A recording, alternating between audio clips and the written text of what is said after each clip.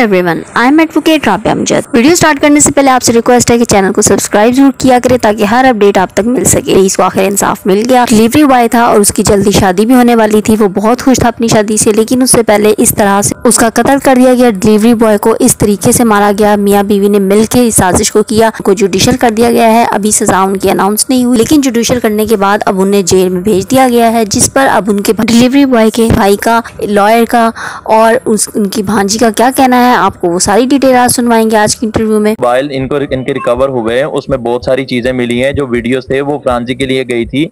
पता चला कि यही मुजरम की वीडियोज़ हैं ये वॉइस भी उसी की है बनी भी उसी के मोबाइल से हैं इनके घर की बनी है वो हर चीज़ की पुलिस तस्दीक कर चुकी है। ठीक है कैंप जेल में इनको भेजा है और इनशाला जो इनकी याशियाँ थी वहाँ पे जो थानों में चलती थी वो अब खत्म हो गई है शायद। अब जेल का जो कानून है, वो इसी तरह कानून है, जैसे आम कैदी रहते हैं, वैसे ही उनकी तरह ज़िंदगी गुजारेंगे। तो इस तरह थे आप समझते हैं कि जब एक बंदे को जेल का ऑर्डर हो जाए, कि जब तू जेल में कोटलियों में जाके सड़ मर, जो मर्ज़ी कर, वो सजा जेल जेल वाले ने देनी वो जेल का हमला उनने उन लोगों ने इनको सजा देनी है, किस तरह देनी है? 302 के मुजरम है, ये दुनिया जानती है कि 302 के मुजरम हो, और उनके साथ किस तरह का सलूक किया जाता है। बाहर तो ये आते जाते थे, जब पुलिस स्टेशन में थे एक महीना तकरीबन बारह दिन ये वहाँ पे रहे हैं। और ये आप लोग भी जानते हैं कि इन डेली बेसिस पे इनको चेंजिंग मिलती थी। अब वो चीज़ें ख़त्म हो चुकी हैं मेरे भाई।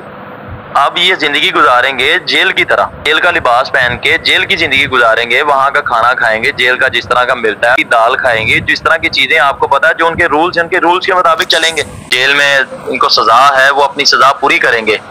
और इनशाला हमें हमारा जबकि ये मुतालबा है अला अफसरान से अला हुक्मरान से, इन्होंने जो सफ़ा जुल्म किया है जो मासूम के साथ, बेगुनाह के साथ, इनको कड़ी से कड़ी सजा दीजिए इनको सरेआम चौक चौराहे पे ला के खड़ा करके इनको सरेआम, ताकि ये दुनिया के लिए इबरत बने, वो जहाँ मर्ज़ी आज़ाद रहे।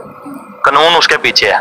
कानून से कभी नहीं भागेगा। इंशाल्लाह वो कानून की गिरफ्त में वो भी आएगा। वो चाहे जहाँ मर्ज़ी चले जाए, इदारे उसके पीछे है। अब बिल आखिर उसने आना अदालत में ही है। ठीक है कानून की गिरफ्त में आना उसने और वो उसको भी कड़ी से कड़ी सजा होगी। मोबाइल चोरी का केस नहीं है। ठीक है जो स्नैपिंग वगैरह कोई इस तरह का कोई केस नहीं है ये 302 का है और फिर इंसान की लाश की बेहरमती की गई है। वो इत, इतना बड़ा सानिया हमने पाकिस्तान में इतना बड़ा सानिया कभी नहीं देखा। ठीक है जो हमारे साथ हुआ है। हमारे बच्चे के साथ इन्होंने सफाक मुर्जुमों ने किया है और इनशाला इनको माफ़ी नहीं मिलेगी। इन्होंने कुरान उठाए झूठे कुरान उठाए हमारे बच्चे के ऊपर इसको टॉर्चर करते रहे उसकी कब्रों उसकी कब्र को भुगतान लगाते रहे। अल्लाह की शान के देखें आज वो हॉस्पिटलों में उनको ड्रिपें लग रही है। ट्रीटमेंट दिया जा रहा है वो मर रही दुनिया में उनको अल्लाह ताला सजा दे रहा है। चीज़ें थी वो काफ़ी चीज़ें हमने रिकवर कर ली है। मोबाइल फ्रांसी के लिए भेजे थे इनके वो जो चीज़ें इस तरह के शवाद है जो हम लोग मीडिया पे शेयर नहीं कर सकते। सारे जानने वाले जिनको तो अभी तक पता ही नहीं कि रईस के साथ हुआ क्या इनका भाई था। ठीक है वो हमारे साथ रबता कर रहे हैं। उनको पता चल रहा है कि जैसे कि रिश्तेदार हैं, बहुत सारे भाई हैं, वो उनके यहाँ पे सब कुछ हो रहा है, ठीक है? और कल देखेंगे आप इनशाला लोगों का यहाँ पे एक समंदर होगा, अवामी समंदर होगा, एक हमदर्दी के नाते कि बच्चे के साथ सफाकियत हुई है। दुनिया देखेगी कि उस बच्चे की हमायत में कितने लोग आए हैं। लोगों का समंदर जब आप भी दिखाएँगे अपने नाजरीन को तो देखने वालों को भी पता चल जाएगा कि इस बच्चा हक था, ना हक था। ये सारी चीज़ें खुल के सामने आ जाएँगी। केस के मतलब बात करते हुए एडवोकेट अज़ीज़ का क्या कहना था कि क्या सजा हो सकती है आइए आपको सुनाते नाम पे किया गया कत्ल। अभी तक जो सारी चीज़ें सामने आई हैं वो सिर्फ़ यही है कि वो लड़की उससे मिलती थी। लड़की ने गुजात बयान है। वो तो ये कह रही है कि जी वो आ, मुझे अचानक मेरे कमरे में घुस आया और मैंने शोर किया।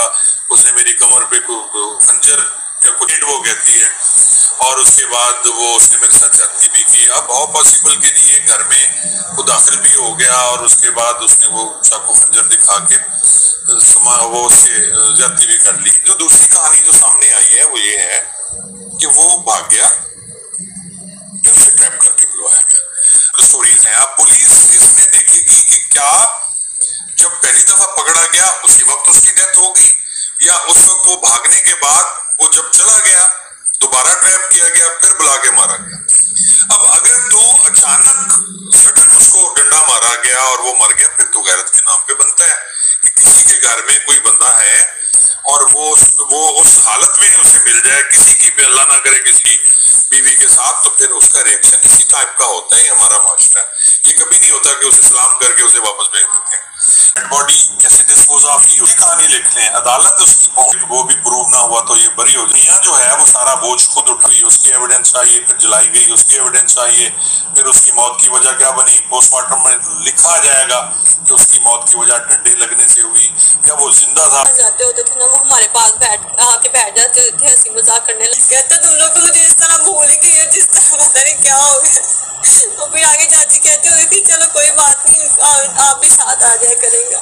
तो वो चाचू के साथ भी इतने अदब से बात करती होती थी बिल्कुल भी ऐसा नहीं है। वो दोनों एक दूसरे के साथ इतनी मोहब्बत करते थे, इतनी अच्छी खुशी ज़िंदगी गुजार रहे थे। जब से निकाह हुआ था हमें भी साथ बिठा के शादी की इतनी प्लानिंग्स करते होते थे।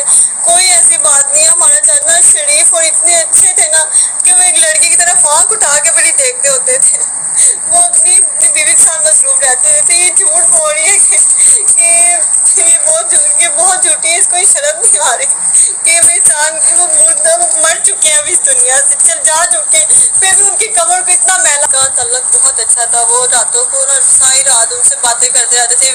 वो भी चाचू से इतना प्यार करती थी और वो भी इतना रोती है कि क्या हो गया मेरे साथ मैं तो कभी इस तरह का सोचा नहीं। उस बेचारे पे क्या गुजरी होगी?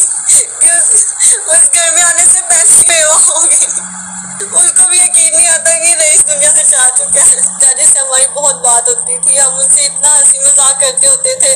वो कहती थी जब मैं आऊँगी ना मैं तुम लोगों के साथ ऐसे करूँगी। मैं इतना अच्छा से जाऊँगी ना कि, कि आप देख के खुश हो जाएँगे। चाचू भी हंसने लग चाचू कहते हाँ यही सारा कुछ करेंगे। चाची के साथ में मेरे इसी तरह के तल्लुकात थे। कोई भी बात होती थी, मैं उनसे शेयर करती थी कि आप चाचू ने ये किया है। मुझसे ना एक दफ़ा नाराज़ हो गए लड़ाई हो गई है। उन्होंने ना दो दिन नहीं बुलाया टाइम जाके मैंने उनसे सॉरी कर बुलाने लग गए और अब हम रातों को उठ उठ के होते हमारे चाचू कहाँ चले गए? अब कब काम से आएँगे वापस? जी फ़ोन पे बात हुई है, वो इतना रोनी कहती मुझे यकीन नहीं आता। कहती एकदम मामला मेरे सामने आ जाए। मैं उसको छोड़ूँगी कहती है, इस बारे में तो वो, उनका बीपी लो होता है, वो बेहोश होने वाली हो जाती है। कहती उनको नहीं समझ आती कि मैं क्या करूँ। चाचू ने ऐसी कोई बात नहीं की थी कि मेरे साथ मेरे साथ ये वाक्य हुआ है। चाचू में ये बिल्कुल भी अंदाज़ा नहीं था कि चाचू के साथ इस तरह हो जाएगा। चाचू ने कभी हमसे इस बात का ज़िक्र तक नहीं किया था। कोई भी बात होती थी, वो सबसे पहले दादों को बताते थे, हर बात अपनी दादों से शेयर करते थे। काम जाती है। मैंने कभी सोचा भी कि मेरे चाचू के साथ ऐसा होगा, वो मुझे मेरे बाप से भी ज़्यादा बढ़कर प्यारे थे। बाप तो हर किसी को प्यारे होते हैं, लेकिन वो मेरे बाप से मुझे ज़्यादा बढ़कर प्यारे थे। मुझे ज़्यादा नसीहतें करते होते थे कि बेटा ऐसे नहीं करते। कोई भी लोग काम कर देती थी तो वो मुझे ना डांटते थे। मुझे इनकी यही बातें अच्छी लगती थी कि वो तो वो मुझे नसीहतें करते होते थे। अब मुझे कौन डांटेगा? मुझे मुझे कौन नसीहतें किया करेगा कि बेटा ऐसे नहीं करना, ऐसे करना हमारे घर में एकदम से सन्नाटा छा गया। हमारे, मैं इस घर में पैदा हुई हूँ ना, हमारे घर में इस तरह का कभी वाक्य नहीं था हुआ। और जब भी होगा रईस की भांजी का कहना है कि रईस की दुल्हन का रो रो के बुरा हाल है और वो उसको यकीन नहीं आता कि अभी तक डिलीवरी बॉय जो है वो इस दुनिया में नहीं रहा। है वहीं वकील का कहना है कि शायद मियाँ बीवी को जल्दी छूट मिल जाए, उनको बरी हो जाए क्योंकि गैरत के नाम पे उनको छूट मिल सकती है। वहीं पे रईस के भाई का कहना है कि कल रईस का चलीसवा है और मुझे उम्मीद है पूरी दुनिया रईस के लिए इंसाफ की आवाज़ उठाने के लिए उसके चलीसवे में बड़ी तादाद में शिरकत करेगी। इस केस से मजीद मालूम के लिए देखते रहिए चैनल की like and subscribe my YouTube channel. Thank you. Música